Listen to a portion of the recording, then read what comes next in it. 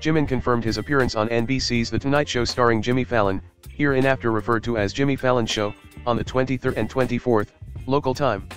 He started promoting his full-fledged solo album. Jimin appears over two days.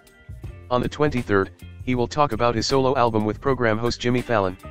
On the 24th, he will perform for the first time on the performance stage of his first official solo album Face, which will be released on the same day. Global fans are responding enthusiastically.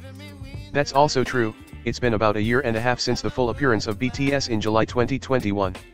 At that time, they captivated viewers around the world with Butter and Permission to Dance. An official pointed out, when Jimin appeared as BTS earlier, he boasted of working with Jimmy Fallon.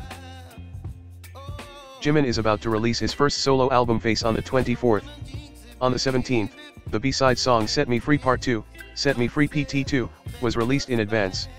At once, it topped the iTunes top song chart in 110 countries slash regions around the world. As of 9.40 am on the 18th, the music video has exceeded 14.16 million views. The music video boasted a magnificent atmosphere. Jimin's intense performance was included. He completed a sword dance with the dancers. Fans expressed their anticipation for the actual stage. Set Me Free Part 2 is in the hip-hop genre. Jimin's rap was added to the serious lyrics and melody. It depicts the will to move freely, shaking off pain, sadness, and emptiness. It is the story of preparing for a new start as an artist.